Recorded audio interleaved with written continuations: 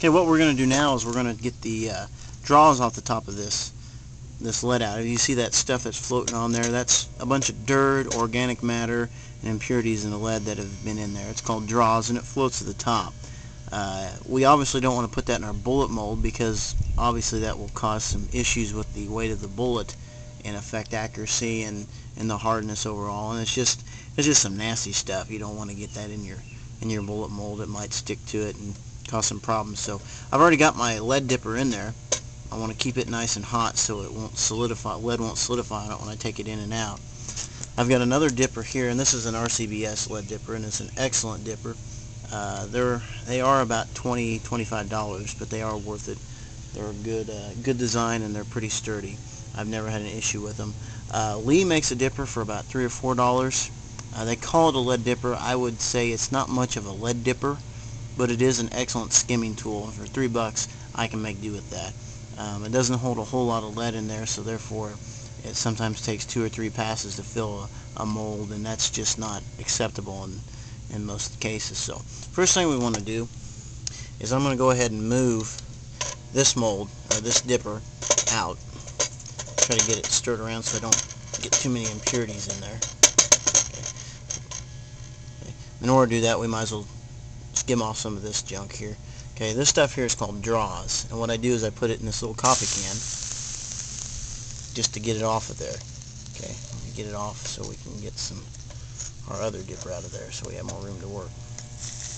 The reason I'm moving it out of the way is so when I pull this up, some of the dross that's in there won't stick to my dipper, my good dipper, and I'll have to re reflux and do everything again, which is not going to be a fun deal.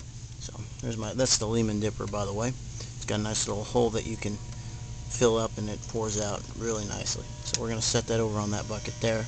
We're going to continue to skim and get most of this junk out of here. So stuff, and you're going to get some lead in there when you dip it out, but that's alright.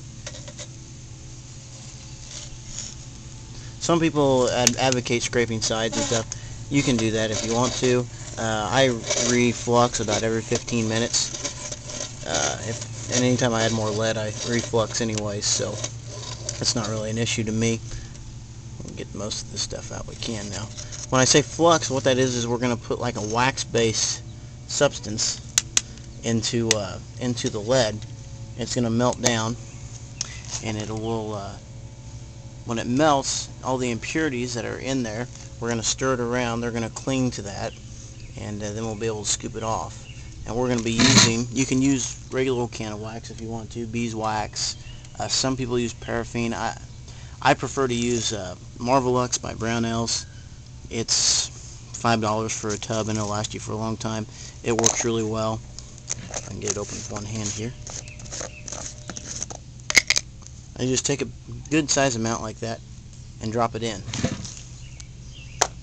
Now since this is getting, it's going to start melting away, I'm going to take my skimming tool and I'm going to go ahead and stir it. There's going to be a lot of smoke and stuff like this coming up.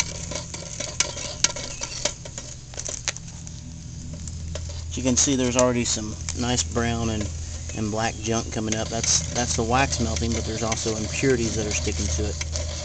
It's pretty much purifying my lead mixture. Now if I ever find something that turns lead to gold, I'll let you know. but as of right now, this is the best way to get your lead pure. We're going to stir a little bit more. You're not going to be able to get everything out of the lead. It's just the way it is. But you can see it's getting nice and black, and there's a bunch of junk that's coming up on there. Now that it's floating up towards the top, we skimmed it off. We're going to take the old stuff, dump it back in here.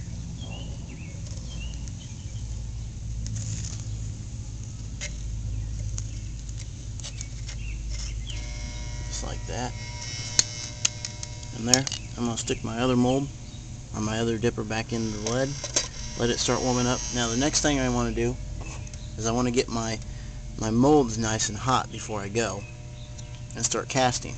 And the reason we do this is so you don't have lead bullets that stick into the cavities, which is really a bad thing. So I'm going to take my 9mm mold and I'm just going to lay it right on top of the pot there. You can stick it into the lead if you want to a little bit and let it warm up that way. I prefer it this way. I've got some other things I need to get ready. This way I can just leave it up there and kind of forget about it for oh about three or four minutes while it warms up and gets good and hot. So we'll be back and we'll start the casting process.